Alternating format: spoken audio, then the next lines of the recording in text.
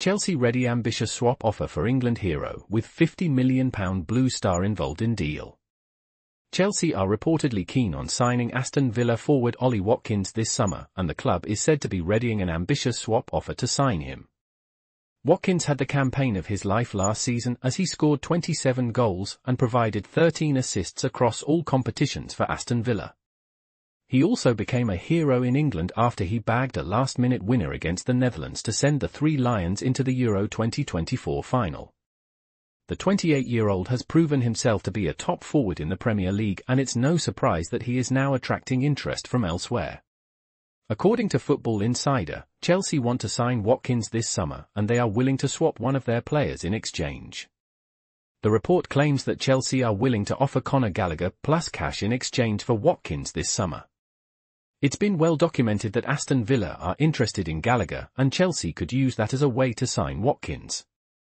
After signing Kiernan Dewsbury-Hall from Leicester City, Chelsea are now prepared to offload Gallagher, who they currently value around £50 million.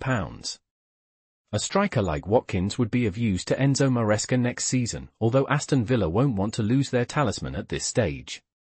The club have qualified for the Champions League for the first time since 1983 and Watkins plays a crucial role in Unai Emery's side. Douglas Luiz has already left to sign for Juventus, although Aston Villa are set to replace him with Everton's Amadou Onana in a £50 million deal. For the time being, Watkins will be focused on the Euro 2024 final with England, but the speculation relating to his future isn't going to go away anytime soon. It's been an unbelievable feeling to be honest, Watkins said when discussing the final. I was taken back by the goal, but also I wasn't shocked that I did that really because I have full belief in myself. I knew when I was going onto the pitch that I was going to score, I manifested it. I'd worked very hard to get to that point, so it's been an amazing feeling, but I'm not shocked. I've got that fire in my belly ready whenever I'm called upon and hopefully I get the call to come onto the pitch again and then hopefully I can produce. Please subscribe to my channel.